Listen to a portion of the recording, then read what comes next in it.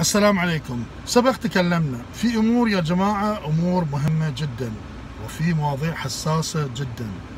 ففي أماكن يعني فيها خدمات أكثر للمواطنين والمواطنين محتاجين لهم أكثر ولأن هالخدمات مهمة لهم ولعوائلهم ولأبنائهم. وهناك مثلا نقاط كثيرة. فلا يصير تخبط عشان ما نحرق الموضوع يا جماعة ونطلع بصورة إيجابية. الكل يستفيد.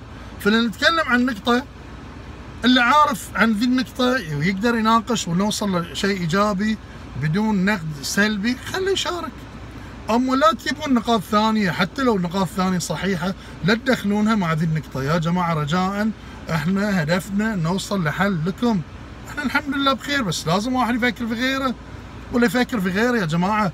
لا يكون عبالكم هاي متعة ولا شهرة. لا والله تحصل الهم والغم والكدر وضيق. والله تحس بكآبة. لما تشيل هموم الناس أو مجرد تفكر في همومهم ومشاكلهم.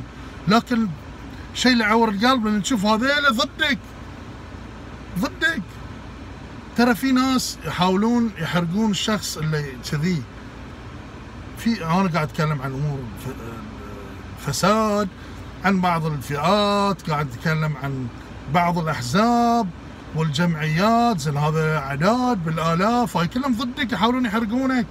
وأقرب الناس ترى وفي ناس أنت تساعدهم وينقلبون ضدك ويحاولون يحرقونك. وأعرفهم والله أعرفهم واحد بواحد بس نلعب نمشي اللعب على قولتهم. وما حد يوقف وياك ترى. لا تعتقدون إن أنا هني ما حد يوقف وياك ما حد يوقف وياك. ووقت الشدة كل يتخلى عنك عمي. وإحنا قاعد نخاطر. عداوات حسد حق كراهية.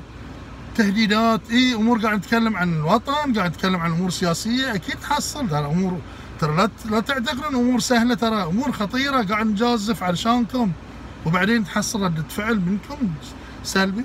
وهاي شيء متوقع ترى. الناس إي مو بغلطه بس في نقطة ما يفهمونها ينقلبون عليك وينسونك ويذمون فيك ترى. لو أنا أفكر كذي نفس غيري ليش أكثر المثقفين والناس ذيلا ما يتكلمون؟ يقول ليش أتكلم؟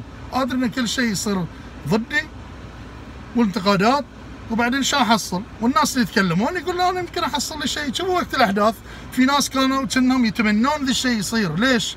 تكلموا عشان يحصلون مصالح انتهز الفرصة وطلبات وكذا وكذا للأسف للأسف وين الوطنية؟ ما ندري، كل قاعد يفكر في روحه ولن أنت تفكر في غيرك بعد ينقلبون عليك. وشكرا.